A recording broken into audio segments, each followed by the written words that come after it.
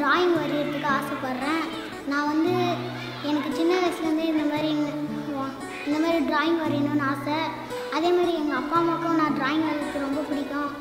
நான் எங்கள் வீட்டிலலாம் ரொம்ப ட்ராயிங் வரைஞ்சி சார்ட்லலாம் வரைஞ்சி ஓட்டுவேன். இந்த குழுவில் நான் ஏன் சேர்ந்தேன்னா அங்கங்கே ஊர் முழுவதும் இந்த குழந்தை பாலியல் கொடுமை திருமணம் மூலம் அதெல்லாம் நடக்குது. அதை நான் அதை தடுக்கிறதுக்காக நான் இந்த குடு இந்த